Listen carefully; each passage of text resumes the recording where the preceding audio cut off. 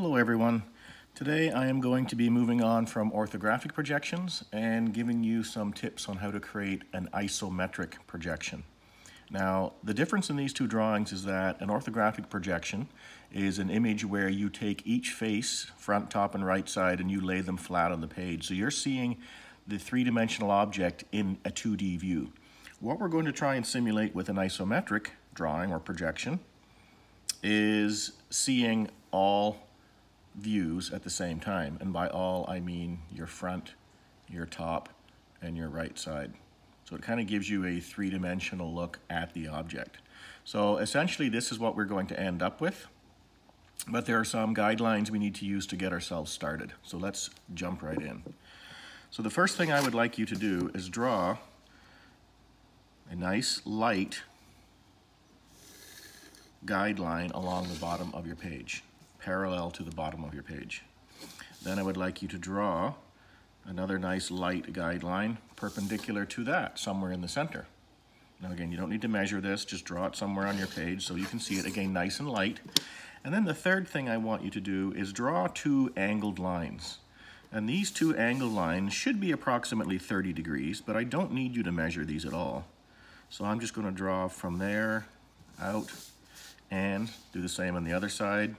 Now, these lines don't even need to be the same angle as long as they're somewhere on the page. And I'll explain why those rules are the way they are in just a second. So there you have a simple guide to get started with an isometric drawing. So if I hold up my image again, you're going to see some similarities. So our horizontal guideline is the bottom line that you see where my pencil is. My vertical line is this front edge between the front and right side view. And then my right angled guideline is this angle, and my left angled guideline is this angle. Now the reason why these do not need to be the same or even measured is because if I change the view of this object, you'll notice the angle right here between the pencil and the object is changing. And it can change left and right, up and down. My cat wants to get involved here. There we go. So there's really no incorrect way to draw this. You see those angles changing all the time. The one angle we do want to keep is this one though, this straight up and down front edge. So having said that, let's get started. So now we're going to use different line types. So I'm going to first off dictate how tall the object is.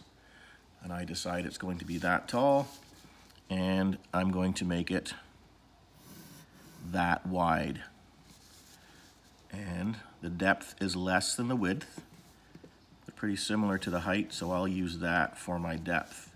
So this is the width of my front view, this is the height of my front view, and this is the depth of the object from front to back.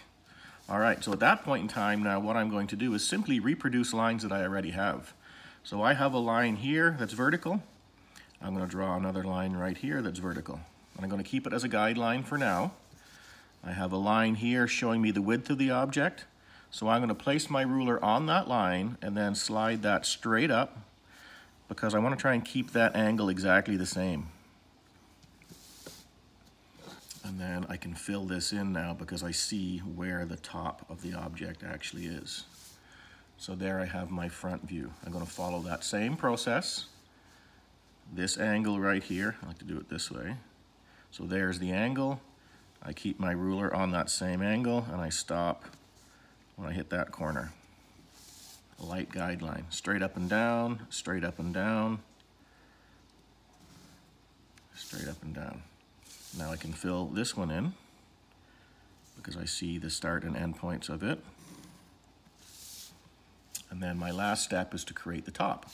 So for the top, I will again keep my ruler on that angle right there I'll go with a light guideline to start and I put my ruler on that angle right there. And notice that this angle is the same as this angle, is the same as this angle.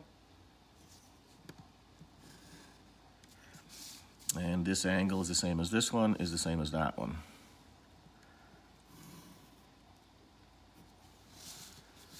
And there we have an isometric drawing. You've got your front view, you've got your top view, and you have your right side view. If you do a good job of drawing your guidelines, you don't need to erase them. If you think they're a little bit dark, you can go ahead and lighten them up by erasing a little bit. And I'm going to now create my title block. So this is isometric number one. And this is done by Mr. Kempton.